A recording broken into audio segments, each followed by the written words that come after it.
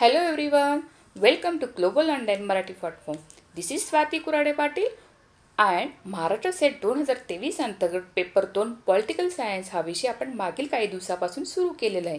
तर पॉलिटिकल सायन्समध्ये आपण मागील काही लेक्चर्समध्ये पॉलिटिकल इन्स्टिट्यूशन इन इंडिया हा हे युनिट आपण कंप्लीट केले.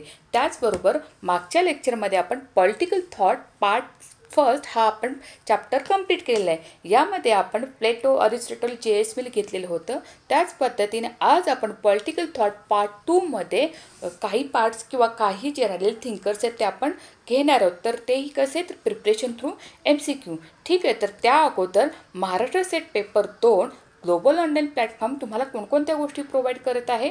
तर यामध्ये full syllabus video lectures and live lectures असतील. फुल सिलेबस नोट्स प्रोव्हाइड होतील. त्याच पद्धतीने full syllabus mock test available असतील and solve previous years question with solution असेल. त्याकरिता आपल्याला काय करायचं आहे? तर दिलेल्या कॉन्टॅक्ट म नंबरवरती आपण कॉन्टॅक्ट करायचे किंवा व्हॉट्सअप करायचे. त्याच पद्धतीने ग्लोबल ऑनलाईन ॲप हे ॲप देखील आपण डाउनलोड करू शकता. त्याकरिता ही टोटली आपली पॉलिटिकल सायन्सची नवीन बॅच आहे. येणारी जी आपली एक्झाम आहे सव्वीस मार्च दोन हजार तेवीसची याकरिता आपण लवकरात लवकर जॉईन व्हायचं आहे आणि पॉलिटिकल सायन्स पेपर दोनसाठी आपल्याला ग्लोबल ऑनलाईन मराठी प्लॅटफॉर्ममध्ये फी स्ट्रक्चर आहे. आपली फी असणार आहे दहा हजार रुपये. पण तुमच्यासाठी तीस टक्के डिस्काउंट देऊन केवळ ती फी तुम्हाला सात हजार असणार आहे. मग या सात हजारामध्ये तुम्हाला पेपर दोन प्लस पेपर फर्स्ट देखील तुम्हाला कम्प्लिटली फ्री भेटणार आहे. म्हणजे get K paper first complete course free with paper second ठीक आहे? तर चला तर मग सुरू करूया आजच्या सेशनला Maharashtra state eligibility test for lectureship Maharashtra SET exam आपण बऱ्याच काही मागच्या लेक्चर्समध्ये आपण पॉलिटिकल सायन्सचा सिलेबस प्रत्येक वेळी आपण लुक करत असतो की one unit one two unit टेनपर्यंत ज्या काही गोष्टी आहेत की आपल्या नजरे खालून जावेत म्हणून आपण प्रत्येक वेळी बघत असतो. त्याच पद्धतीने आज एक युनिट फर्स्टमध्ये काय सेकंडमध्ये काय त्यामध्ये आपण युनिट सेवन जो होता part political institution in India तो आपण कंप्लीट केलेला होता. ठीक आहे? तर त्याच पद्धतीने आज जो आपण घेणार आहोत तो पॉईंट कुठला आहे? तर आज आपण घेणार पॉलिटिकल थॉट पॉलिटिकल थॉटमध्ये आपण मागच्या लेक्चर्समध्ये काय बघितलं? प्लेटो अरिस्टॉटल पाहिलं होतं. जे आत्ता जे मागचे राहिलेले जे थिंकर्स असतील ते पुढचे आपण आता कवर करण्याचा प्रयत्न करणार आहोत. ठीक आहे? तर पॉलिटिकल थॉटमध्ये जे काय एक्सपेक्टेड आपल्याला तर वेस्टर्न पॉलिटिकल थॉट असं त्याला म्हटलं जाईल. जे काही पाश्चिमात्य राजकीय विचारवंत आहे त्यांचा आपण युनिट टूनमध्ये अभ्यास करणार आहोत. युनिट थ्रीमध्ये इंडियन पॉलिटिकल थॉट असणार जे की आपण इंडियन पॉलिटिकल म्हणजे भारतीय राजकीय विचारवंत जे असतील त्यांचा अभ्यास असणार आहे. ठीक आहे? राहिलेले पार्ट आपण मी हळूहळू पुढे पुढे घेत राहणार आहोत. ठीक आहे? तर पुढे आपण पाहत आहोत की पॉलिटिकल थॉट पार्ट फर्स्ट. आणि पार्ट सेकंडमध्ये आज आपण काय बघतो तर हॉब्सला क्रुसो आपण आज घेतलेलं आहे. तर त्याच्यामध्ये आपण काय घेतो आहे तर मागच्या लेक्चरला आपण काय काय बघितलं? म्हणजे सगळ्यात महत्त्वाचं कुठलं कुठलं होतं की प्लेटो आपण पाहिलेलं होतं. ठीक आहे. देन नेक्स्ट काय बघितलं? तर ॲरिस्टॉटल आपण पाहिलेलं होतं. आणि जे एस मिल पण आपण पाहिलेला होता. मग आज आपण काय घेतो आहे तर आज आपण हॉप्स घेतो आहे हॉब्स लॉक अँड रुसो घेतो. म्हणजे हे जवळपास सात. जवळपास तुम्हाला दहा ते बारापर्यंत तुम्हाला पॉलिटिकल थिंकर्स आहेत. मग कुठले कुठले थिंकर्स आहेत त्याच्यामध्ये? तर प्लेटो अरिस्टॉटल मॅकॅविली आहे हॉब्स लॉक रुसो हेगेल आहे. मार्क्स आहे. महत्त्वाचं. परत जॉन जे एस मिल आपण बघितले ग्रॅमसी नहरण किंवा माऊथ जे सॉन्ग आहे रॉल्स आहे जॉन रॉल्स आहे. तर आजच्या लेक्चरमध्ये हा जो आपला आहे तो पेपर पॉलिटिकल थॉट पे पार्ट सेकंड पार्ट आपण आज घेतोय. तर अजून एक आपलं पार्ट थ्री होईल की हॉब लव क्रूस एक महत्त्वाचं आहे. Plato Aristotle J S Mill आपण घेतलेले.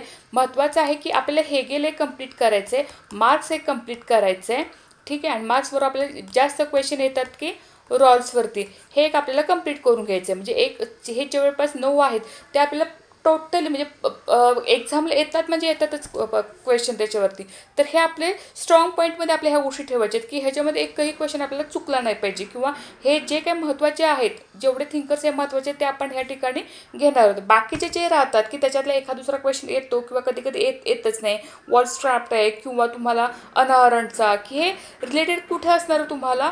पॉलिटिकल थेअरी रिलेटेड जे क्वेश्चन असतात आता political thought and political theory interconnected हे मी मागे तुम्हाला क्लिअर केलं होतं की पॉलिटिकल थेअरी रिलेटेड जे काही क्वेश्चन असतील त्यामध्ये तुम्हाला काही थिंकर्स असे येत राहतात की ते भले तुमच्या पॉलिटिकल थॉटमध्ये जर ते इन्क्लूड नसतील तर ते तुम्हाला थेअरी रिलेटेड त्याच्यावरती क्वेश्चन विचारू शकते. म्हणजे तेव्हा असं म्हणून नाही की हा थिंकरच्यामध्ये इन्क्लूड आहे त्याच्यावरती कसा काय क्वेश्चन विचारला?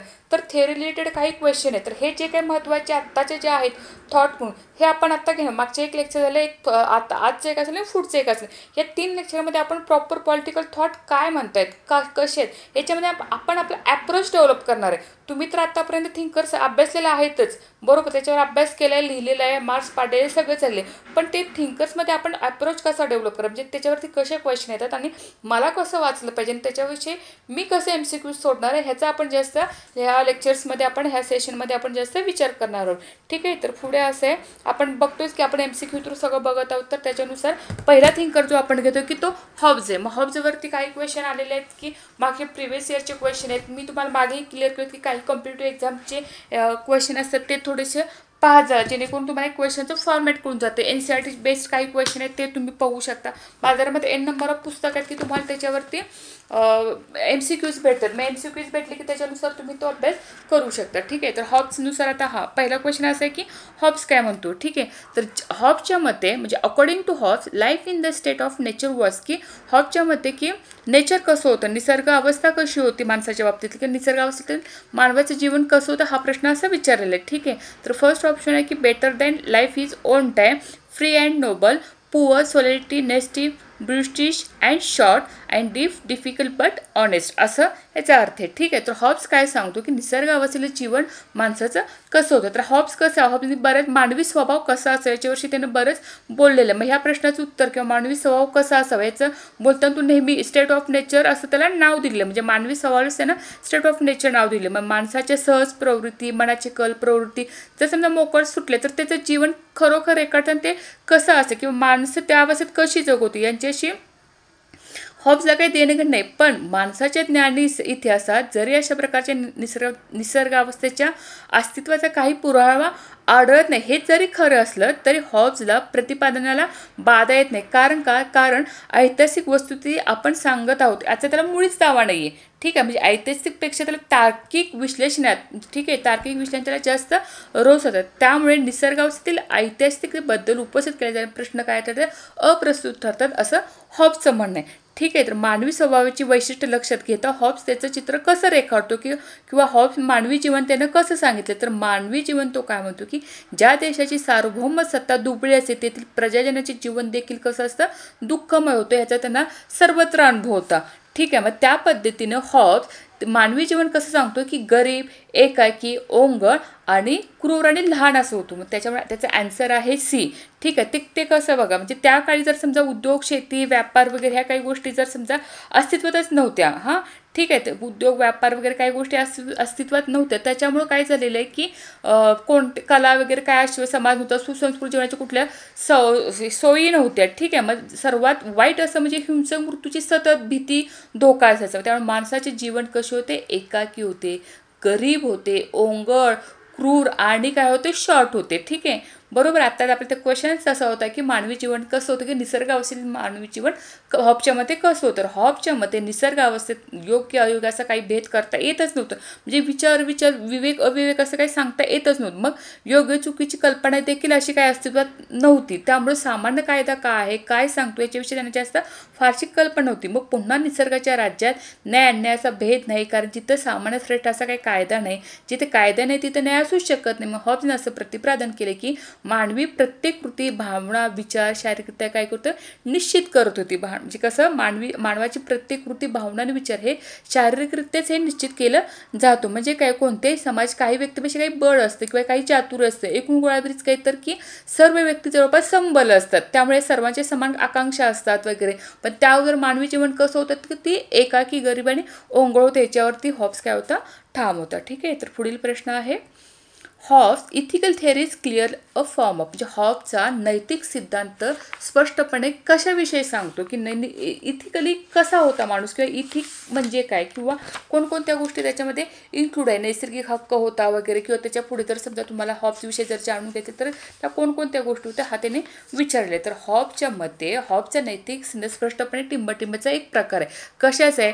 रॅशनल इगोइझमचा आहे किंवा रॅशनल अल्रिझमचा आहे डेंटॉलॉजीचा आहे की नैतिकतेमध्ये सार्वत्रिकता असते. साहजिक आहे तो मानवा मानवाविषयी विचार करतो निसर्गावस्थेविषयी विचार करतो मानवी जीवन कसं असावं सार्वभौमत्व कसे असावे राजकीय जीवन कसं याविषयी जर समजा तुम्हाला जर ह्याच्याविषयी काहीच माहिती नसेल जर तुम्हाला पर्यायातलं जर एखादं उपयुक्त तर जर निवडायचं असेल तर तुम्ही सरळ सरळ याच्यामध्ये समजा काही गोष्टी माहितीच नाही त्याच्याविषयी तुम्ही विचारू शकता. किंवा ज्या गोष्टी ज्या पॉझिटिव्ह वाटतात त्याच्याविषयी काही तर तो वेगळं सांगतो हे जर तुम्हाला डायरेक्ट क्लिक झालं बाबा कुठं आपण वाचले असेल तर डायरेक्ट क्लिक तर ह्याचा आन्सर तुम्हाला सोडवता येतं. ठीक आहे याचा आन्सर आहे एकीत तो रॅशनल इगोइझमविषयी बोलतो म्हणजे माणसा विवेक हा पद्धत जे आहे तो त्याच्याविषयी सांगत आहे की हॉब्स नैतिक सिद्धांत स्पष्टपणे कशाचा ते रॅशनल इगोइमचा एक प्रकार आहे असं त्याला सांगायचं आहे ठीक आहे तर निसर्ग आणि मानवी निसर्गाच्या हॉबचं काय सांगणं की राजकीय सिद्धांत त्याच्या मानसशास्त्रानुसार त्याने घेतलेलं मग निसर्गाची यांत्रिक संकल्पना त्याची आधारलेली होती. मग हॉबच्या मध्ये राज्याच्या निर्मितीपूर्वी राज्याचे स्वरूप कसे होते?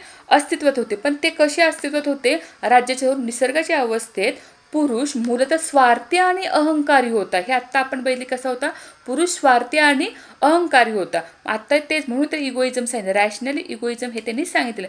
ऑरिस्टॉटलमध्ये मध्ययुगीन त्याचे अगदी विरुद्ध त्याने सांगितलं की ज्यांनी मानवी स्वभावाला जन्मजात सामाजिक म्हणून पाहिले तिथे हॉब्सने मानवाला अलिप्त आणि अहंकारी स्वार्थी आणि समाजाचा शोध घेणारा म्हणून पाहिलेले. ठीक आहे म्हणजे ऑरिस्टॉटल जे काही मध्ययुगीन काळातले जे काही विचारवंत होते त्यांनी मानवी स्वभावाला काय केलेलं? जन्मजात म्हणून त्यांनी सामाजिक म्हणून पाहिलेलं होतं. ठीक आहे पण हॉब्स अगदी त्याच्या विरोध विरुद्ध काय विचार करतोय? तर हॉबच्या मते की मानवाचं जीवन कसं होतं किंवा मानवी कसं माणूस कसा होतो? एक तर मागास म्हणजे ओंगळ होता गरीब होता एकाकी होता अलिप्त होता वगैरे. आता इथेही असंच सांगितलं की हॉब्स मानवाला अलिप्त अहंकारी स्वार्थी आणि समाजाचा शोध घेणार म्हणून पाहिले जात होतो. जे निरपेक्ष सरकारचे बहुतेक रक्षणकर्त्यापेक्षा तो वेगळा होता आणि असामान्यतेच्या सुरुवातीपेक्षा तो सुरुवात करतो. म्हणजे हॉबचा असा तर्क करतो की पुरुष मध्यभागी नैसर्गिक समान होते पण पुरुषाची मूलभूत समानता हा त्रासदायक किंवा दुःखाचा मुख्य स्रोत होता. आणि मागे पण म्हटलं की सार्वभौम सत्ता जर दुःखमय असेल तर मानवी जीवन पण कसं आहे? दुःखमय असणार. म्हणजे तो त्याचं जीवन काय दुःखाचा स्रोत होता. मग पुरुषामध्ये सर्वसाधारणपणे किंवा मानवामध्ये सर्वसाधारणपणे समान क्षमता असते इच्छा असते आकांक्षा असते ते जपतात. पण त्यांना त्याची गोष्टीची त्या गोष्टीची इच्छा असते की ते दोघे म्हणून ते करू शकत नाही किंवा म्हणजे शत्रू बनतात एकमेकांचा नाश करतात किंवा ते एकमेकांच्या विरुद्धच ते काय करते युद्ध पुकार होते. म्हणजे ह्याचा अर्थ मानवी जीवन कसं होते तर अलिप्त होते अहंकारी आणि कसे होते स्वार्थी होते. म्हणजे निसर्ग अवस्थेतील मानव मानव कसा होता तर तो स्वार्थी होता ओंगोळ होता गरीब होता. त्याच पद्धतीने तो अलिप्त आणि अहंकारी होता असं हॉब्सला म्हणायचं आहे ठीक आहे तर पुढचा प्रश्न असा आहे की मानवी आनंदाची व्याख्या केवळ आनंदाची प्राप्ती अशी केली जाऊ शकते. तर ह्या ऑप हॉबच्या ह्याचा सिद्धांताचा नेमका आधार काय की जेणेकरून तो ह्या गोष्टी सांगतो म्हणजे human happiness can only be defined as a realisation of pleasure this is the basis of Hobbes theory of म्हणजे कशाच्या बळावरती तो हॉब्स सांगतो की हे जीवन असं होतं. Human nature knowledge human psychology का युटिलिटीन फॅ उपयुक्तवादी मानसशास्त्र सायकोलॉजीविषयी सांगतो. तर ह्याचा आन्सर आहे की डी उपयुक्तवादी मानसशास्त्राच्या वरून मानवी आनंदाची व्याख्या केवळ प्राप्ती केली शकते असा हॉबचा आधार आहे. ठीक आहे? तर आता महत्त्वाची काय गोष्ट आहे की हॉब्स आपल्याला इथंपर्यंत आता काय कळालं बघा? ठीक आहे तर मानवी स्वभावाविषयी काय सांगतो हॉबची काही ग्रहित आहेत किंवा त्याने ते आपली ते स्वीकारले. राजकीय विचार मांडण्या करण्यात काही फारशा अडचणी येतात असं दिसत नाही. म्हणजे त्यांनी तार्किकता सांगितलं म्हणजे तार्किक सुसंगता निश्चित केलेलीच आहे. पण मुळात मानवी स्वभावाच्याला जे काय वाटतं ते त्यांनी स्पष्टपणे मांडलेलं म्हणजे जे काही माणूस कसा होतो तो प्राणी असतो तो मानव प्राणी आहे तर बाबा तो कसा आहे स्वार्थी आहे एकाकी आहे अहंकार आहे वगैरे असं सांगितलेलं आहे. त्याचप्रमाणे दुसरी बाजू पण सांगतो की मानवी स्वभावात म्हणजे हॉब्स ते ॲक्च्युली नाकारतो माणूस स्वभाव प्रेम त्याग औदार्य आत्मीयता ह्या अशा काही ज्या गोष्टी प्रभावी असतात त्या सामाजिक म्हणजे प्रवृत्तीची मूळ त्यात असते पण तो त्याला चिटकूनच बसतो किंवा ते त्याच्यामध्ये घेतो ह्याचा क्लेश सहन करतो किंवा पत्कर. हे लॉफ हॉफच्या लक्षातच येत नाही की त्याच्याजवळ ती मानवाची किंवा मानवाच्या स्वभावाची दुसरी बाजूही असेल. प्रेम असेल त्यागच तर नाही. त्याच्यामध्ये त्याने एकाकी ओंगळपणा किंवा स्वार्थी या गोष्टी त्याने सांगितलेल्या. म्हणजे मावणी भावनाकडे म्हणजे जे ज्या काही भावना प्रेम वगैरे असतील त्याग औदार्य अशा काही भावना त्याच्याकडे सपशेल काय केलेल्या त्यांनी हॉब्सने कानाडोळा केला दिसतो. ठीक आहे. दुसरं असं की हॉब्सने मानवी स्वभावाचे निदान जर खर मानायचे असेल तर प्रश्न असा पडतो की पाशवी स्वभावाची माणसे खरंच सर्वशक्तिमान सार्वभौमताच्या निर्मितीसाठी एकत्र येऊ शकतील काय? तर नक्कीच नाही. तर अशा सत्तेची गरज जाणून इतपत दूरदृष्टी समज किंवा विवेक अशा काही ठिकाणी कुठून आहेत? जर ती व्यक्ती किंवा जो तो समाजात समजा पाशवी असेल किंवा अहंकार असेल स्वार्थी असेल एकाकी असेल तर अशा ठिकाणी स म्हणजे अशा ठिकाणी तर तुम्हाला सार्वभौमता जाणवणार आहे का? विवेक अविवेकाची भाषा येणार का? समज विवेक यांच्या ठिकाणी येणार आहे का? तर नक्कीच नाही. तर निसर्ग अवस्थेतील जे काही वर्ण हॉब्सने केले ते जर खरं मांडलं किंवा खरे असले तर शांतपणे सर्वांच्या हिताची चर्चा यामध्ये घडून येते का? तर नक्कीच येत नाही. मग आपल्याला संघटित होऊन एक निरंकुश सार्वभौमसत्ता उपा उभारली पाहिजे. हे ज्या माणसानं किंवा ह्या माणसानं सुचणे नक्कीच नाही. म्हणजे त्यांना असं वाटणं गरजेचं नाही की आपल्या म्हणजे आपल्याबरोबर एक अशी सार्वभौम सत्ता असायला हवी किंवा आपलं एक नियंत्रण करणारी सत्ता असायला हवी आपल्याला लक्ष ठेवण्यावर अशा गोष्टी ह्या स्वार्थी किंवा अहंकारी माणसांच्या समोर येणार का? तर नक्कीच मग हॉब्स काय म्हणतो की उपयुक्तवादी तो हिशोब लक्षात घेतला तर हे पटत नाही. मग सार्वभौम सत्तेची त्या माणसानं गरज होती का? हे मान्य करता येते का? तर अगदीच नाही. मग ती सर्वांना अशी वाटेल हे पटू शकत नाही. मग ज्यांना इतरांच्या दुबळेपणाचा फायदा लुटायचा अशा लोकांना काही व्यक्ती समाजात असणार आणि त्या काय करणार? निरकु निरंकुश सार्वभौम सत्ता काय करणार? अस्तित्वात येणार. ठीक आहे म्हणजे साहजिकच आहे. जर ओंगळ स्वार्थी जर लोक असतील तर काय त्यातले काही लोक समोर येऊन ते स्वतःची काय करणार? निरंकुश सार्वभौम सत्ता विचारात घेणार किंवा ती निर्माण करणार. बरं मग निसर्गावस्थेत निसर्गाच्या अंतिम टोकावर हॉब्स काय म्हणतो की या म्हणजे एक प्रकारचा एक करार होतो. निसर्गवादापासून दूर होण्याचा एक करार होतो. म्हणजे तो विवेकवादावरती आधारलेला आहे का? तर नक्कीच आहे. मग करारातून काय निष्पन्न होतं? तर बळाच्या सहाय्याने अराजक दृश्य स्थितीचे रूपांतर कॉमनवेल्थमध्ये झालं. म्हणजे साहजिक आहे. कारण तो ओंगळवाणे किंवा स्वार्थ आहे. त्याच्यामुळे ते बळाचा वापर करून काही लोक निरंकुश स्वतःची सत्ता स्थापन करू शकतात. मग हॉब्सने मांडलेल्या सार्वभौमत्वाच्या निरंकुश सत्ताही काही विसंगत आहे का? तर नाही. सार्वभौम हा शब्द जेवढा हॉब्स मानतो तेवढं सर्व शक्तिशाली असे. मग प्रजाजनांच्या हक्कांना वाच वावच उरणार नाही किंवा वावच राहणार नाही. मग अशा प्रजेच्या हक्कांना वाव मिळण्यात कधी दुबळा असेल स्तरी नसेल किंवा तो तेवढे आव्हान जर पेलू शकत नसेल तर किंवा सार्वभौम प्रजा यांच्यातील जर आंतरविरोधाचे पर्यावरण अराजकतेत होणार असेल तर युद्धात लढण्यास नकार देण्याचा हक्क किंवा बंड करण्याचा हक्क प्रजाजनाला असेल असं कोण म्हणतं? हॉस म्हणतो. म्हणजे युद्ध ही संकल्पना या ठिकाणी तर युद्ध कुणासोबत असणार आहे? तर ते प्रत्येकाच्या विरुद्धच असणार आहे. ठीक आहे? म्हणजे हॉबच्या मते ज्या स्थिती प्रत्येकाच्या विरुद्धची युद्धाची स्थिती निर्माण होऊ शकते. म्हणजे ते कुणाविरुद्ध असणार आहे? प्रत्येकजण किंवा प्रत्येक व्यक्ती प्रत्येक ठिकाणी ते युद्ध युद्धाचा विचार करू शकते. मग त्यासंबंधी एक शक्यता अशी काय की सार्वभौमिक सत्ता अधिकार अंतर्गत व बाह्य शत्रू नष्ट केला असेल तर अशा प्रसंगी हा हक्क प्रजात अंमलात येतील का? तर नाही ही परिस्थिती कशी असणार आहे? अराजकतेची असणार आहे. मग या स्थितीत एका व्यक्तीच्या आत्मबचावाचा प्रयत्न यशस्वी होण्याची काय मुळी शक्यता होणार नाही आहे म्हणजे असं होईल की सार्वभौम सर्व शक्तिशाली असेल आणि स्थितीत प्रजनांना आपले हक्क हक्क भोगण्याची किंवा हक्क भोगण्याची शक्यताच नसणार आहे. मग आपला जीव धोक्यात आहे की नाही याचा किंवा असल्यास बंड करण्याचा निर्णय व्यक्तीवर सोडणे किंवा लोकशाही तत्वाला धरून असणे हे हॉब्सपर्यंत मानवी स्वभाव लक्षात घेता. यातून अनागोंदीच निर्माण होणार असल्याची चिन्ह दिसतात. मग यावरून हॉब्सवर त्याच्या काळात आणि नंतर प्रचंड टीका झालेली आपल्या आढळून येते. मग ती टीका कशावरती होती की राजकीय विचारातील पारंपरिक छेद देऊन स्पष्ट विवेकनिष्ठ सर्वप्रथम देण्याचे श्रेय भाव हॉब्सलाच जाते. हे नाकारू शकत नाही. पण त्याचा मानव कसा आहे की तो एकाकी आहे? ठीक आहे. मग निरे निरेश्वरवाद असे भौतिकवाद असे निरुकुंशवाद असं कोणत्याही समकालीन विचाराची मांडणी करू पाहणार हॉब्जला हवाला द्यावाच लागतो. म्हणजे दोनशे वर्षापर्यंत युरोपचे चिंतन कसं होतं की हॉब्जने प्रभावित होतं. मग आजही हॉब्जला डावलून चालते काय तर नाही. तर सार्वभौमताविषयी हॉब्जने मांडले सिद्धांत ऑस्टिन पण पुढे एक सत्ताकवादक सिद्धांताचे पूर्वकथन करतो. त्याच पद्धतीने त्याचे कायदेविषयक विचार व्यवहार पण सर्वाधिक प्रभाव होता. आजही तो फारसा कमी झालेला आपल्याला आढळत नाही. ठीक आहे तर हा एक पुढचा असा प्रश्न की होता की हॉबच्या मध्ये माणसाच्या ज्या स्थितीत प्रत्येकाच्या विरुद्ध प्रत्येकाची युद्धाची स्थिती आहे मग प्रत्येकाला माणूस कुणाविरुद्ध अधिकार आहे? तर काही गोष्टी विरुद्ध आहे किंवा कायदेशीर उपचार आहे किंवा ड्यू प्रोसेस आहे किंवा सर्व काही आहे का? तर ह्याचा आन्सर आहे की तो प्रत्येक एव्हरीथिंग मी आत्ताच बोलू की एव्हरीथिंग म्हणजे according to Hobbes in the condition of man in which there is a state of war every one against every one and every man has to right to every कारण तशी अंधा कोणती निर्माण झाली होती त्यामुळे ते युद्धाची स्थिती तशीच होती. म्हणजे का कसून every man has to right to everything ह्याचा आन्सर आहे आन्सर डी म्हणजे हॉबचे म्हणणे असे की पुरुष नैसर्गिकरित्या मध्यभागी समान होते. पण पुरुषाची मूलभूत समान हा त्रास दुःखाचा मुख्य स्रोत आहे. पुरुषामध्ये किंवा मानवामध्ये सर्वसाधारणपणे समान क्षमता असते. मग त्यामध्ये ती इच्छा आकांक्षा जपतात वगैरे किंवा दोघे मिळून काही गोष्टींची हे करतात शत्रू बनतात. मग तेच प्रत्येक पुरुषाविरुद्ध किंवा प्रत्येक व्यक्तीविरुद्ध ते काय करत होते? लढत होते विचार करत होते किंवा युद्धाची परिस्थिती निर्माण करत होते. ठीक आहे मग हॉब्सने मांडलेला राजकीय विचार पूर्णपणे हिवादी असून उपयुक्त वादाचा भक्कम आधारही देखील मांडला जातो. मग हॉबचे वैशिष्ट्य काय? की तो एकाच वेळी उपयुक्तवादी आणि व्यक्तिवादी होता. म्हणजे अमर्याद राजसत्तेचे देखील तो समर्थन करत होता.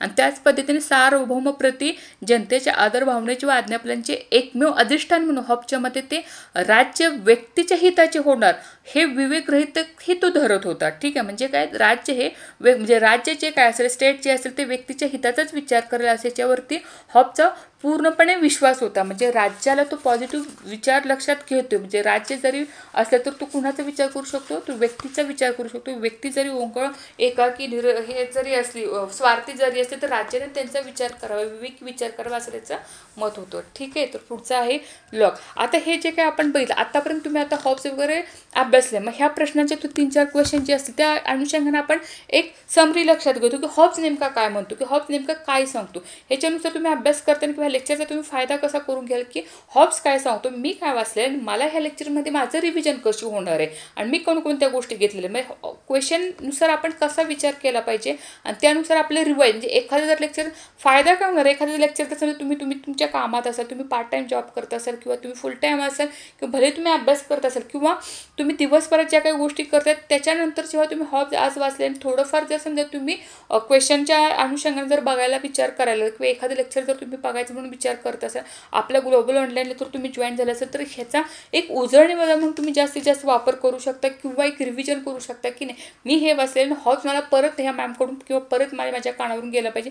जेव्हा म्हणजे आपण जेव्हा वाचतो करतो त्याविषयी जेव्हा आपल्या कानावरून जेव्हा गोष्टी गोष्टी जातात तेव्हा तुम्हाला सबकॉन्शियस माइंडमध्ये त्या गोष्टी तुमचे क्लिअर राहतात. आणि जेव्हा तुम्ही पेपर क्लिअर सोडवाल तुम्ही एक्झाम रूममध्ये असाल तेव्हा तुम्हाला बऱ्याच गोष्टी आढळणार. की ह्या गोष्टी तुम्हाला ॲनालिटिकल बेसवरती सांगितलं जातं की हे असं आहे तर हे असं का नाही आहे किंवा काय असू शकतं किंवा हॉब्स काय म्हणतो स्वतः जेव्हा वाचतो तेव्हा आपण एकाकी विचार करत असतो. पण जेव्हा समोरची व्यक्ती सांगत असतो तेव्हा तू थोडंसं कम्पॅरेटिव्हली काही गोष्टी तुम्हाला सांगत असतो. म्हणून तर मी थिंकर्स हे थोडेसे कम्पॅरेटिव्हली घेतले की तुमच्या लक्षात आहे म्हणजे ओंगळवाणी तुम्हाला असं फक्त हॉब्स फक्त घेतले आणि ते तुम्ही अभ्यासतच आहे. एका लेक्चरमध्ये पूर्व तुम्हाला हॉब्स सांगितलं तुम्हाला कंटाळा आला असं नाही.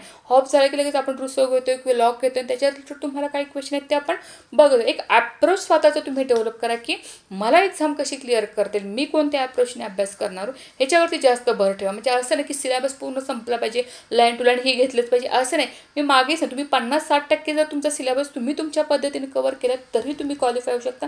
फक्त तुम्ही काय करताय तुमचे प्लस पॉईंट काय आहेत? किंवा तुम्ही जे करताय ते परफेक्ट करताय की हे फक्त तुमच्या लक्षात येऊ दे की आपण कुठे आहोत ते? ठीक आहे तर पुढचं आहे आपण बघतोय लॉकचं. ठीक आहे तर Locke propounded his theory of social contact in this book enter आता हे महत्त्वाचं असं याच्यासाठी की सामाजिक करार हॉब लॉक तिघांनीही मांडलेले आहेत. तर त्याच्यामध्ये तुम्हाला जे काही करार वगैरे तुम्हाला सांग सांगण्यात आलेले आहेत ठीक आहे तर ते करार सामाजिक करार जे आहेत हॉब्स लॉ क्रुसेचे ते सामाजिक कराराचा सिद्धांत शीर्षकाचे कुठल्या पुस्तकात मांडले असं आपल्याला इथे विचारलेलं आहे. ठीक आहे तर ह्याच्यामध्ये आता तुम्हाला काय सांगता येईल की न्यायशास्त्रावली व्याख्याने वगैरे आहेत का? आता महत्त्वाचे तुम्हाला मला सांगायचे की हॉब्स लॉ क्रुसो हे असेल किंवा अदर कुठलेही थिंकर्स असू दे त्याच्या रिलेटेड जे काही बुक्स आहेत ते तुम्हाला माहितीच असायला पाहिजेत. कुठले कुठले बुक्स आहेत काय आहेत? बरं ते बुक्सचे रिव्हिजन तुम्ही कसे करणार आहेत? ते बुक्स कुठून करणार आहात तुम्ही? तर एक समजा आता तुम्ही आज थिंकर एक वाचायला घेतलेले आहेत तर त्या थिंकर्स रिलेटेड तुम्ही काय करायचे?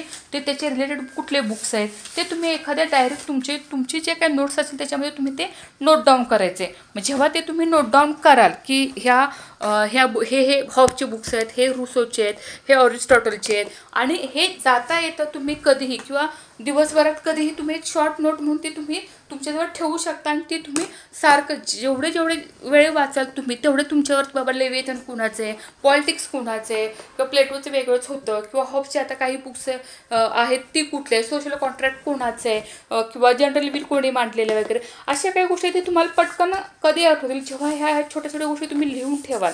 हे बुक्स वगैरे आहेत हे जेव्हा तुम्ही लिहून ठेवाल तेव्हा तुम्हाला ते आठवणार आहे ठीक आहे? मग हे कधी करणार तुम्ही? जेव्हा तुम्ही लिहून ठेवाल तेव्हा तुम्ही करणार करणार आहात. आता ही बुक्स मी का सांगते मुद्दा बुक्सवर एखादा तर क्वेश्चन असतो किंवा बुक्सवर जरी क्वेश्चन असतो त्या पण त्याच्या थेरीवरती क्वेश्चन असतो तेव्हा तुमच्या लक्षात येते की ह्या ह्या गोष्टी ह्या बुक्समधले ह्या गोष्टी त्यात ह्यामधले त्याच्यासाठी मी तुम्हाला एखादा म्हणजे प्रत्येक लेक्चरमध्ये एखाद्या तर बुक्स तुम्हाला मी नाव घेतेच आहे. तर ह्याच्यामध्ये सामाजिक कराराचा सिद्धांत लॉकने मांडले तर तो कशामध्ये मांडला असं त्यांनी विचारलं. तर त्या पुस्तकाचं नाव आहे की टू ट्रिटीज ऑफ सिव्हिल करून. हे जे की लॉकचं सर्वात महत्त्वाचं पुस्तक आहे की त्या पुस्तकामध्ये त्यांनी काय मांडले? सामाजिक कराराचा सिद्धांत मांड मांडलेला आहे. मग त्या रिलेटेड अजून दुसरी कुठली पुस्तकं आहेत ती तुम्हाला माहीत आहेत का? ह्याचा तुम्ही आढावा घ्यायचे मग बाकीचे कुठल्या कुठल्या गोष्टी आहेत कुणी कुणी काय मांडले ह्याच्यावरून तुम्हाला ते लक्षात येणार आहे. ठीक आहे? महत्त्वाचं. तर ते टू टिटीज ऑफ गव्हर्नमेंट वगैरे आता लॉकची कोणकोणती बुक्स आहेत हे तुम्हाला अगोदर माहिती असली पाहिजे की स्टेट ऑफ नेचर कसं होतं हे आपण मगाशी पाहिलेलं होतं. कोणाचं बघितलेलं होतं? आपलं ह्याचं हॉबचं बघितलं होतं. त्याच पद्धतीने आपण ह्या गोष्टी ह्यांचं पण बघू शकतो की सोशल कॉन्ट्रॅक्ट कसा होता. आता मानवी स्वभाव त्याचा एक चार्ट तुम्ही करू शकता की मानवी स्वभाव कसा होता. मग हॉबचा लॉकचा रुसूचा हे कम्पॅरेटिव्ह तुम्हाला करायचे मानवी स्वभाव आता मानवी स्वभाव आपण हॉबचं बघितलं की स्वार्थी आणि भावना शुभ चिन्ह होता एकाकी होता. आणि काय गरीब होता वगैरे असं आपण क्लिअर केलं होतं हॉबचं मग लॉकचं कसं आहे का? लॉकचं नाही. लॉकचं कसं होतो रॅशनॅलिझमवर भर देतो. म्हणजे लॉक कसं होतं खूप मानवी स्वभाव कसा होता? विवेकशील होता. म्हणजे लॉकच्या मते मानव हा विवेकशील प्राण आहे असं त्यांनी क्लिअर केलं होतं. बरं.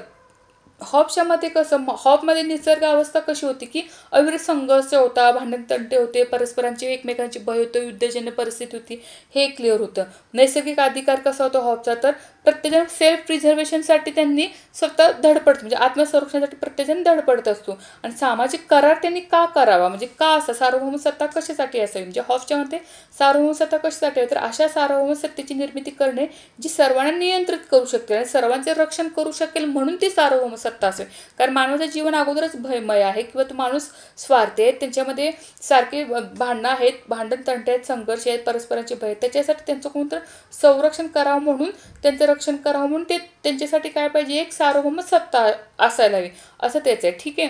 त्याचपर्यंत त्याचे सामाजिक करार त्यांनी करायला पण त्याचं मग हे कसं असायचं स्वरूप कसं असावं? तर सर्व मानव मात्र कसं परस्परांना वचन देतात की ते आपल्याला शासन करण्याचा अधिकार एखाद्या शक्तीला किंवा एखाद्या सार्वभौमतेला आम्ही सुपूत करतोय असं. बरं त्या सार्वभौम सत्तेचे स्वरूप कसं असणार आहे? तर ते सर्वोच्च आणि मागायचे निरंकुश असणार किंवा अमर्याद असणार आहे. आणि त्याचा राजकीय सिद्धांत पण कसा असणार? ते निरंकुशवाद असणार आहे किंवा प्रतिकाराच्या अधिकारास तिथे काय वाव असतं म्हणजे निरंकु निरंकुशवाद असणार आहे. म्हणजे हॉब्स नेमका कसा आहे तुम्ही हॉब्स हो, म्हटलं की म्हणजे एक लक्षात ठेवायचं की अभ्यास काय सांगण्याचा उद्देश काय? लक्षात ठेवायचं. की हॉब्स म्हणले की एकच की त्याचा मानवी स्वभाव म्हणजे त्यांचं नैसर्गिक जीवन किंवा त्यांचं नेचर ऑफ स्टेट कसं होतं मानवी स्वभाव हा पूर्णतः स्वार्थी भावना शून्य एकाकी गरीब. मग त्याच्या त्या रिलेटेड ज्या काही निगेटिव्हिटी गोष्टी ज्या निगेटिव्हली येतात त्या लक्षात ठेवायच्या. मग त्यांना असं वाटलं की नाही त्यांच्यामध्ये साहजिक आहे स्वार्थी असल्यामुळे प्रत्येकाच्या एकमेकांना भय होतं सारखे संघर्ष होतात आत्मसंरक्षणासाठी ते मग झटत होते मग आपल्यावरती कुणाची ते सार्वभौम सत्ता असावी मग ती कसली असायला हवी की आपल्या म्हणजे आपल्याला जे काही भय आहे त्याचे रक्षण करण्यासाठी एक सत्ता असायला हवी मग ते एक परस्परांना विच वचन देतात की अशी आपण सार्वभौम सत्ता निर्माण करावी. मग ती पण कसली असणार? तर ती निरंकुश असणार आहे. अमर्याद असणार. म्हणजे त्यांचा उपयुक्त राजकीय सिद्धांत हा टोटली कसणार आहे? निरंकुशवाद असणार आहे. म्हणजे हॉब्स किती क्लिअर झाला आलं लक्षात तुमच्या? बरोबर? मग त्याच्यात रिलेटेड जे काही बुक्स असतील परत आपले हॉबच्या रिलेटेड ते आपण परत करून घ्यायचे की हॉब नेमकं काय सांगतो आपल्याला त्याच्याविषयी आपण मुळे आता पुढचं आपण घेतलं की लॉकचं लॉकचं पण आता आपण तेच घेतलं की लॉक नेमकं आपल्याला काय सांगतो? त्याच्या ॲडिओलॉजी काय ब्लॉकनं पहिलं काय सांगतो? त्याचं मानव कसं आहे तर विवेकवादी विवेकशील प्राणी आहे त्यांच्यामध्ये निसर्गावस्था कशी होती? शांतिमय होती. ठीक आहे आता ह्याचा आन्सर आपण काय घेतलेलं आहे की टू टी टी जॉब करू म्हणजे हा ह्या रिलेटेड मी मला सांगितलं की तुमची जेवढे काही बुक्स आहेत ते तुम्ही लिहून काढायचे आणि त्या रिलेटेड तुम्हाला लॉकची कुठली पुस्तकं आहेत हॉफची कुठली पुस्तकं आहेत रुसो काय सांगतो प्लेटो काय सांगतो कुठल्या कुठल्या बुक्समध्ये त्यात काय दिले हा एक तुमचा ॲप्रोच ह्या ठिकाणी डेव्हलप झाले. येथे लक्षात म्हणजे बुक रिलेटेड जो काय ॲप्रोच आहे तो इथे डेव्हलप केलेला आहे आपण की बुक्स रिलेटेड आपण काही गोष्टी लक्षात घ्यायचे त्याचबरोबर हॉरिझॉन्टल तुम्ही लक्षात घ्यायचे हॉब्स काय सांगतो त्याच्या रिलेटेड कुठल्या कुठल्या गोष्टी आहेत हॉब्स हा क्लिअर झाला. त्यानंतर आपण आता लॉक पाहतो आता पुढचा प्रश्न असा आहे की according to Locke the legislative power of the legislative power of sorry legislative power is limited by the impartial rules of established law different rules for rich and poor laws establish for the good of the state and मोनात म्हणजे लॉकच्या मते जी काही कायदेशीर शक्ती असते किंवा कायदेशीर legislative powers आहे ती कुणाद्वारे प्रस्तावित केली जाते किंवा कुणाद्वारे मर्यादित केली जाते असं विचारलं तर ह्याचा आन्सर आहे की प्रस्तावित कायद्याच्या निपक्षपाती नियम म्हणजे the impartial rule of establishment law म्हणजे आता लॉ म्हणलं की थोडंसं पॉझिटिव्ह विचार करायचं. हॉर्स म्हणलं की थोडा निगेटिव्ह विचार करायचं. की निगेटिव्हनी सांगते तो माणूस वारते ओंगळ आहे एकाकी आहे. लॉक तसं सांगतो. लॉक थोडंसं त्याचे म्हणजे लॉक खूपच चांगल्या गोष्टी सांगतो. हॉब्स खूपच वाईट गोष्टी सांगतो. हे एवढं लक्षात ठेवतो लॉक काय सांगतो? माणूस खूपच चांगला आहे. खूपच विवेकशील प्राणी आहे. खूप शांती सद्भावना परस्पर सहकार्य करतो. त्यांचा नैसर्गिक अधिकार अधिकार कसा आहे? तर लाईफ लिबर्टी आणि प्रॉपर्टीचं संरक्षण करतो. मग शासन व्यवस्था कशी असायला पाहिजे? तर व्यक्तीच्या नैसर्गिक अधिकाराचे म्हणजे नैसर्गिक जे काय अधिकार दिले त्याच्यासाठी नियमन करण्यासाठी त्याचं हे असायला हवं. शासन असायला हवं असं लॉक सांगतो. मग हॉब्सने माणसाचा विचार केवळ कसा केलेला की स्वार्थी प्राणी म्हणून केलं. पण लॉक मात्र तसं धरतो का नाही? लॉक काय सांगतो की माणूस हा स्वभावतच सामाजिक प्राणी आहे. ठीक आहे ते नाही कसं टू ट्रिटीज ऑफमध्ये ज्यांनी जे काही लॉकच्या विधान त्याची मानवी स्वभावाची काय ते कल्पना येते. म्हणजे माणूस काय आहे की मान मनुष्य जीवन काही जन्मातच समान आहे. त्याची शारीरिक बौद्धिक वगैरे क्षमता जरी कमी जास्त असली तर त्याच्यातील नैतिक क्षमतेला काय येत नाही? बाधा येत नाही. मग ज्या नैसर्गिक कायदा अन्वये माणसाचा हक्क कर्तव्याची व्याख्या होते त्या व होते त्यांना मान मान्यता देणे इतपत विवेक विकास झाला आहे हे कशावरून सांगते की ही माणसे नैतिकदृष्ट्या आहेत म्हणून सांगितलं जाते. मग तेव्हाच त्यांना बऱ्या अर्थाने व्यक्तित्व लाभते. म्हणजेच काय? लहान मुलांना ही विवेकबुद्धी अजून लाभलेली नसते. पण नागरिकांचे हक्क कर्तव्य त्यांना कळत नाहीत. पण ती स्वयंशासन करू शकत नाहीत. त्यामुळे त्यांच्यावर प्रौढांचे नियंत्रण आवश्यकते म्हणून लॉक हे स्पष्ट करतो की लहान मुलंसुद्धा केवळ प्राणी नसतात तर त्यांना वटणीवर आणण्यासाठी किंवा बलप्रयोग हा मार्ग नसतो. मनमानी सार्वमध्ये दर्शन नव्हे तर केवळ प्रेमळ पित्ताच्या वासल्याने त्यांच्यावर राज्य केलं पाहिजे. म्हणजेच पालक बालक माणूस माणूस ही मानवी नाती सर्व माणसे एका नैतिक व्यवस्थेत सहभागी असतात. मग त्यांची जीवने त्या व्यवस्थेत सुसंगत असावीत. मानवी प्राणी कसं आहे तर विवेक आहे. मग त्याच्या व्यवस्थेतले अस्तित्व असते त्याच्या जुळवून घेणे त्याचं कर्तव्य असलं पाहिजे. एकजुटी वाढेल किंवा एकता नांदेल ह्याच्यासाठी त्यांना धडपडलं म्हणजे हे असं असायला पाहिजे. ही नैतिक प्रेरणा फक्त माणसालाच कृतीप्रवण करते. म्हणजे लॉकच्या मते काहीतरी माणसाचे वेगळे पण सामावले. म्हणून केवळ निसर्गनिर्मित प्राणी नसतो तो एक नैतिक कायद्याची नियंत्रित व्यवस्थेचा सभासदी असतो. मग मानवी स्वभाव कसा आहे? तर मानवी स्वभाव स्वभाव तर तो शांत सत्प्रवृत्त आणि समाजहितोषी असतो. म्हणजे समाजाचे हित त्याला कळते म्हणून तो समाजहितोषी विचार करतो. मग त्याच निसर्गावस्था कशी सांगितलेली आहे लॉकची? तर लॉकच्या मते राज्य अस्तित्वात येण्यापूर्वी मानवी जीवन शांत होते सुव्यवस्थित होते. मानवी लोक कसे की विवेक आणि गुण गुण्यागोविंदाने एकत्र राहत असत. मग त्यांना एकमेकाबद्दल काय होतं? प्रेम वाटत असल्यामुळे ते सहकार्य करत असत. म्हणजे हे बघा टोटल हॉकच्या विरुद्ध ह्या सगळ्या गोष्टी सांगितल्या येते लक्षात. म्हणजे सर्व माणसं स्वतंत्र व समान होती. प्रत्येकाला स्वतःच्या इच्छेनुसार जगता येत होतं. कोणीच इतर कोणाच्या इच्छेने वागत नसत. मनाला वाटेल ते श्रम करण्याची कृती करण्याची किंवा संपत्तीची विल्हेवाट लावण्याची सर्वांना स्वातंत्र्य होते. कोणाच्याही परवानगीची तशी काही गरज नव्हती. म्हणजे अर्थात स्वातंत्र्य हे काही अमर्याद नव्हते. ठीक आहे? मग शांतता आणि सुरक्षितता टिकवण्यासाठी कुणाची तरी गरज नसली तरी नैसर्गिक कायद्याचा म्हणजे विवेकाचा अंमल कसा होता? म्हणजे प्रत्येकाला कळत होते की विवेक काय किंवा काय केलं पाहिजे आणि काय नाही केलं पाहिजे.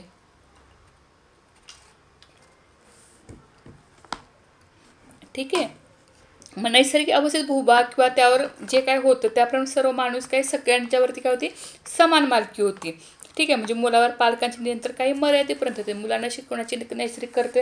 पालकांना पारे पाडे म्हणजे शिस्त लावणे किंवा शिस्त हे आज्ञाभंग करत असेल तर त्या गोष्टी सांगणे म्हणजे विवेकाला त्यांनी भयंकर महत्त्व दिले होते. माणूस हा समाजशील प्राणी म्हणजे विवेक हा गोष्ट जी होती ना लॉकच्या मध्ये तर जास्त हे होतं. म्हणजे विवेकाला धरून तो जातच नव्हता. म्हणजे माणूस मानवी प्राणी हा विवेकाची आज्ञा पाळीत असल्यामुळे पोलिसी कोर्ट यासारखी निसर्गात गरजच नव्हती. म्हणजे तो को कुठल्या शांततेचा भंग करेल हिंसाचार करेल किंवा इतरांच्या हक्कावरती गदा निर्माण करेल स्वातंत्र्यावर अतिक्रमण करेल काही शिक्षा देण्याची गरज असेल किंवा हिंसा नाश द्वेष अत्याचार अशा काही युद्धजनित स्थिती असल्याचे लोक सांगतच नाही. म्हणजे तो त्याच्यावरती काही विश्वासच ठेवत म्हणजे गुन्हेगार व्यक्ती असू शकते किंवा युद्धजनित अवस्था आता म्हणजे येते वगैरे असं लॉकचा विश्वासच नव्हता. म्हणजे अशा काही गोष्टी येणारच त्याच्यामुळे त्यांच्यावरती निरंकुश अशी काही राज्यसत्ता असावी असं त्याला वाटत नाही. राज्य राज्यसत्ता असावी पण कशी असायला हवी?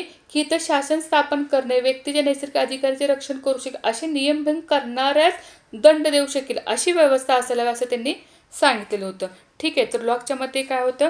त्याची प्रस्थापित कायद्याची काय होतं? की impartial rules of establishment by law ठीक आहे नेक्स्ट क्वेश्चन हां महत्त्वाचं काय आहे. हे आत्ता आपण ते सांगितले की नागरी समाज राज्यात लोक तीन शक्तीचे अस्तित्व लक्षात घेते परंतु त्यावरील नाहीत. मग कायदेमंडळ असेल कॉम्युनिटची सर्वोच्च शक्ती म्हणतात कायदेमंडळाचा अधिकार लोकप्रतिनिधी असल्याची विधिमंडळाची सत्ता सर्वोच्च होती.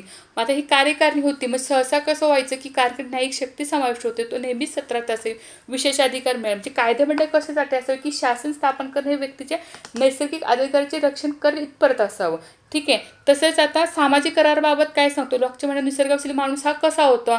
हा हे माझे निसर्गावशील आता मागाशी क्लिअर केलेलं होतं की त्याचं पूर्ण स्वातंत्र्य कशावरती होतं? की राज्याच्या अधीन असताना त्याला पूर्ण स्वातंत्र्य देखील मिळेल किंवा निसर्गाच्या अवस्थेत त्याच्या स्वातंत्र्याचा उपभोग अत्यंत अनिश्चित आणि असुरक्षित आहे किंवा त्याला इतरावर पूर्ण सत्ता हवी आहे की तो निसर्गाचे नियम नाकारतो? तर ह्याचं योग्य उत्तर आहे की बी निसर्गाच्या अवस्थेत त्याच्या स्वातंत्र्याचा उपभोग अत्यंत अनिश्चित आणि असुरक्षित आहे. म्हणून लॉकच्या म्हणण्यानुसार निसर्गाच्या अवस्थेतील माणूस हा टिंबटिंबमुळं सोडून दिलं. म्हणजे काय? सॉरी डॉटरनं सोडून दिलं. म्हणजे याचा अर्थ काय होतो की निसर्गावस्था तर त्याचे स्वातंत्र्याचा उपयोग अत्यंत अणचे असुरक्षित असेल तेव्हा तो त्याचे स्वातंत्र्य सोडून देणार. पण स्वातंत्र्य कसं आहे त्याचा?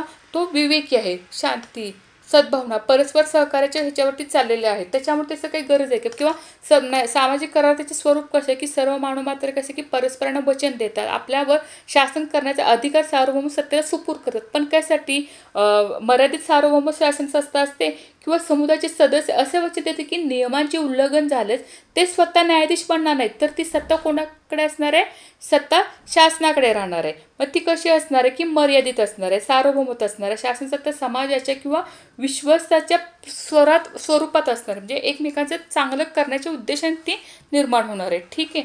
त्या उद्देशाने. म्हणजे किती पॉझिटिव्ह गोष्टी आहेत की त्या लॉकने सांगितले. म्हणजे मूळ करारच लॉकने सांगितलं. मग करार राजकीय समाजाची निर्मिती झाली तर सरकारची निर्मिती करार नाही तर नेमण्याच्या मार्गाने झाली असे लॉकचे प्रतिपादन आहे. मग त्याच्यामध्ये काय तर सरकार हे कसं आहे विश्वस्त असते? ज्या विश्वासाने त्यांनी नेमले त्या विश्वासाचा भंग झाला तर जनसमुदाय त्या सरकारला काढून टाकू शकेल असं लॉक सांगतो. मग सरकार समाजाशी करार करत नाही तर ते समाजाच्या विश्वस्त म्हणून कार्य करते. ते दायित्व ते एकतर्फे पत्करले असते. म्हणजे सरकारची स्वतःची अशी काही इच्छा असते का तर नसते. नोकरापेक्षा जरा वरचा असा त्याला काय असतो? दर्जा असतो. मग त्याची त्याच्या कामात जर कसूर झाली तर त्याच्याकडून अधिकार काय केले जातात? परत घेतली जातात. ठीक आहे?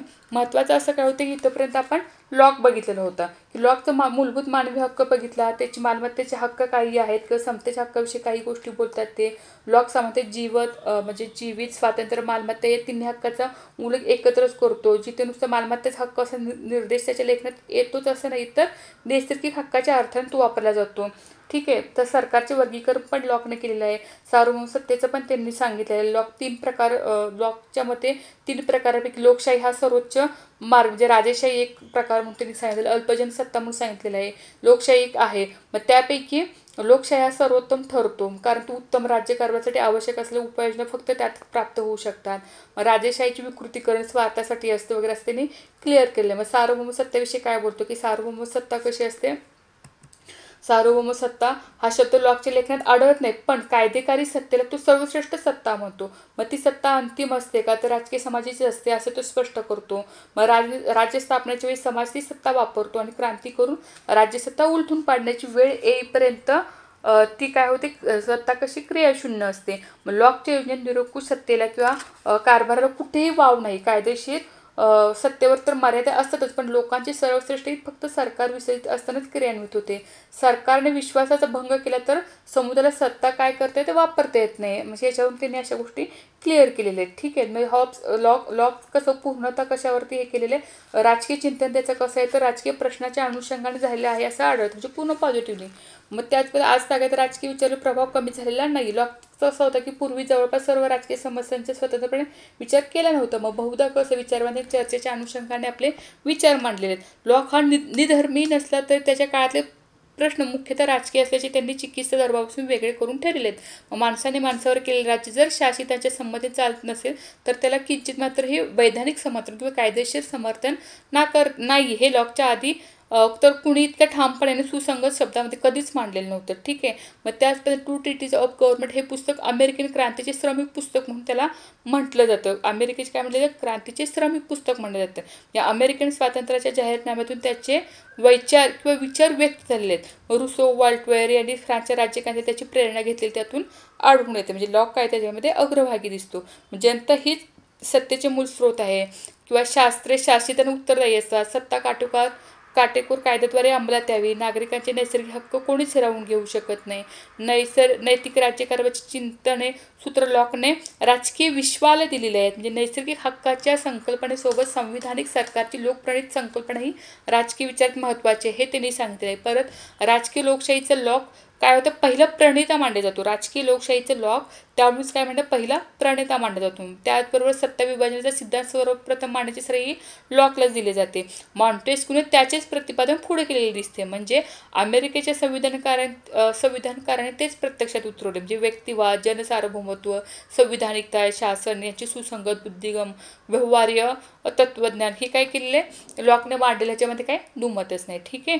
तर अशा प्रकारे लॉकच्या विचार काही जरी उन्हे अडत असले तर त्याचे नैसर्गिक कायदे नैसर्गिक हक्क या त्याच्या संक्रमण काही असं म्हणजे विसंगती आहेत असं नाही आहे म्हणजे ह्याच्यामध्ये काय संविधान मात्र जास्त महत्त्व दिलेलं आहे. क्रांतीच्या अधिकारास त्यानं मान्यता दिलेली आहे. अशा पद्धतीने आपण या ठिकाणी लॉकचा आढावा घेतलेला आता पुढचा आहे रुसो. ठीक आहे? रुसो पण तितकाच खूप सोपा आहे. ज्या पद्धतीने आपण हॉब्स लॉक पहिले त्याच पद्धतीने आपण आता रुसो पण आता हॉब्स जर तुम्हाला क्लिअर केलं की निगेटिव्ह माइंड लक्षात ठेवायचं लॉक लॉक म्हटलं की पॉझिटिव्ह म्हटलं जेवढ्या काही गोष्टी पॉझिटिव्हली येतील तेवढं आपण लॉकला देऊन टाकणार आहोत. किंवा लॉकच्या रिलेटेड जे काही ऑप्शन येते त्या पद्धतीने आपण ते सो एक ॲप्रोच डेव्हलप करा तुम्ही तुमचा कसं की हॉब्स काय म्हणतो लॉक काय म्हणतो रुचो काय सांगतो ह्या गोष्टीनुसार तुम्ही ह्या रिव्हिजनचा तुम्ही हा फायदा घेऊ शकता. पुढे. रुसो.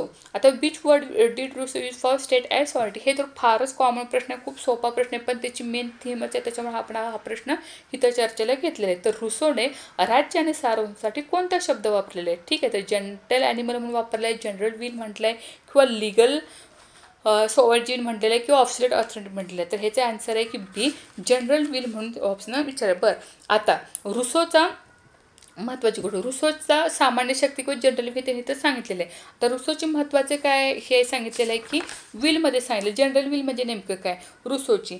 ठीक आहे. रुसो काय सांगतो तर डिस्क त्याची बरेच अशी पुस्तकं त्याच्यामध्ये.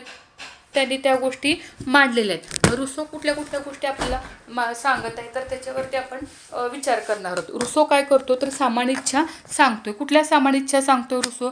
तर सामान्य इच्छा आणि सर्वांची इच्छेमध्ये तो फरक पडतो मग प्रत्येकाचा ठराव हा केवळ विशिष्ट इच्छापत्रांची बेरीज आहे का? तर नक्कीच ती वैयक्तिक हितसंबंधाच्या पातळीवरती काम करताना दिसते. मग सामान्य संकल्प नेहमी निस्वार्थ सामान्य हितासाठी असतो. कधी कधी रुसो बहुमताला एक सामान्य ठराव म्हणून त्याकडे पाहतो. परस्पर विरोधी परस्पर विरोधी विचारांच्या टक्करातून जे काही उरते ते सामान्य संकल्पना आहे. ठीक आहे?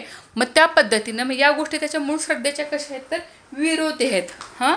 मूळ श्रद्धेच्या विरोधी आहेत. मग त्याची हे जे आहे सॉरी सभ्यतेच्या विकासात समाजात विषमता जर निर्माण झाली तर राज्याची उत्पत्ती ही खाजगी संपत्तीच्या रक्षणासाठी केली जाते असं त्यानं एका ठिकाणी सांगितलं. म्हणजे काय? सुरुवातीला निसर्गाचं चित्र अतिशय मोहक रेखाटले. म्हणजे मनुष्य कसं आहे? समतापूर्ण आहे सुखमय आहे सरळ जीवन जगत होता. मग त्याच पद्धतीने नंतर सोशल कॉन्टॅक्ट त्याने नंतर आपले विचार बदल. मग मॅन माणूस कसं आहे हे त्यानं त्याच्यामध्ये क्लिअर केलेलं आहे. ठीक आहे? तर man is a bond free however he is everywhere in chains म्हणजे मनुष्य सिव्हिल सोसायटीमध्ये नॅचरल लिब लिबर्टीपासून कसं आहे वंचित राहतो. म्हणून नॅचरल लिबर्टीचा तो काय करतो त्याग करतो आणि सिव्हिल लिबर्टी तो प्राप्त करतो तो नव्या परिस्थितीत त्याला योग्य संरक्षण पुरवतो. मग मानव आपापसात करार करून सार्वभौम सत्ता प्राप्त करतो. मग ती सार्वभौम सत्ता कशी अमर्याद आहे अविभाज्य आहे किंवा अ, अमर्याद अविभाज्य परंतु कोणा एकाकडे नाही तर ती कुणाकडे आहे? सामान्य जनाकडे आहे. पॉप्युलर सॉव्हर्निटी असं त्यांना म्हटलं जातं.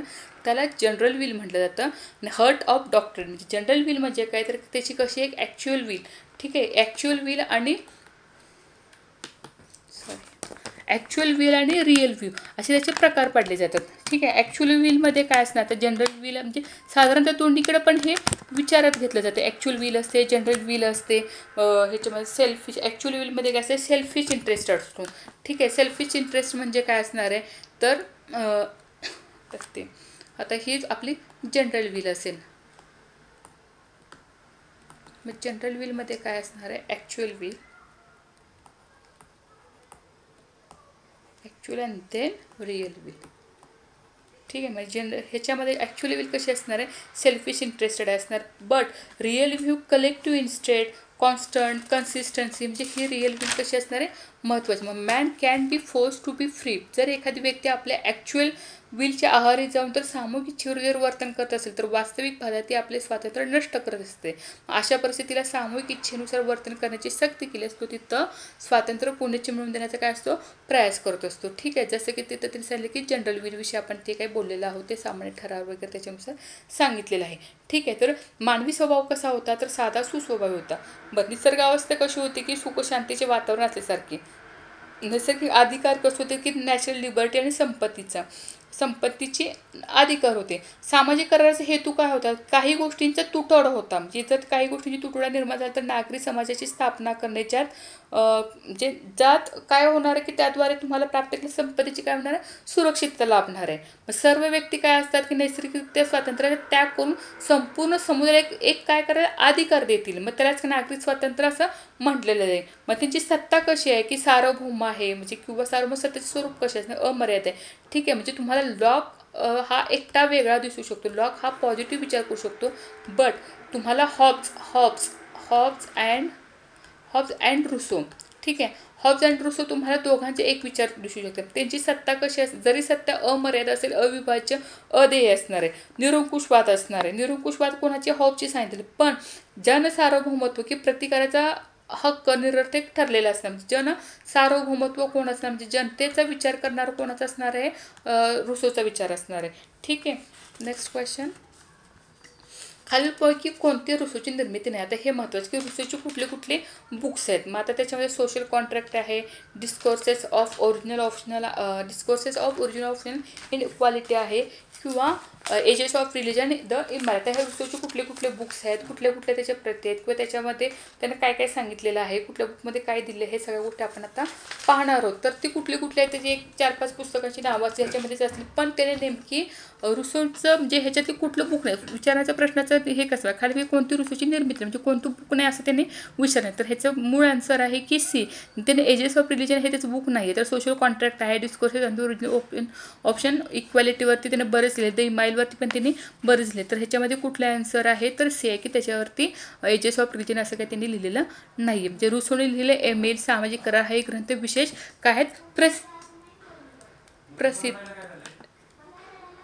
प्रसिद्ध आहेत. कुठले कुठले आपल्याला ते बघितलेले होते की ह्याच्यामध्ये सामाजिक करार म्हणजे सोशल कॉन्ट्रॅक्ट आहे द इमेल आहे किंवा two courses of discourses on science and arts हा एक महत्त्वाचा आहे की त्यांनी कशाशी निगडीत आहे खरी प्रगती कशाची अजून समाजामध्ये नैतिकता जागा असमानता करू यांनी घेतलेले हे त्यांनी कशामध्ये डिस्कोर्सेस ऑफ त्याच्यामध्ये सांगितलं. मग त्याच्यामध्ये आता ते जे काही धर्माविषयी जे काही विचारलेले होते ते धर्माविषयीचे जे काही गोष्टी आहेत त्या त्याच्यामध्ये त्यामध्ये आढळलेलं नाही आहे त्याच्यामुळे ती त्याची ते त्यांचं पुस्तक आहे का ते त्यांची बुक्स आहेत का हे तुमच्या लक्षात आलं की कोणत्या पुस्तकात कोणत्या गोष्टी आहेत किंवा कोणत्या गोष्टी नाही आहेत ह्या ज्या काही गोष्टी आहेत त्या आपण त्या रोजच्या रोज बघणार आहोत. कशामध्ये हे ज्या काही गोष्टी तुम्ही त्याच्यासाठी देणार आहात बुकसाठी तुम्ही जेव्हा ते लिहून ठेवा आत्ता हा थोडाफार वेळ जितका आहे की त्याच्यामध्ये तुम्ही तुम्हाला लिहून ठेवता येऊ शकते की कुठले कुठले बुक्स आहेत कुठले कुठले बुक्स नाही त्याच्यावरून तुम्ही त्या गोष्टी क्लिअरवर राहू शकता. म्हणजे तुमच्या हॉब्स लॉक्रूस ह्या जे काही थिंकर त्याच्यावरती तुम्हाला कोणत्याही प्रकारची तुम्हाला भीती राहणार नाही. ठीक आहे मग आता सामूहिक संकल्पनाविषयी काय काय गोष्टी आहेत की रुसोनं क्लिअर केलेल्या आहेत मग सार्वभौमाची संकल्पना कुठली आहे?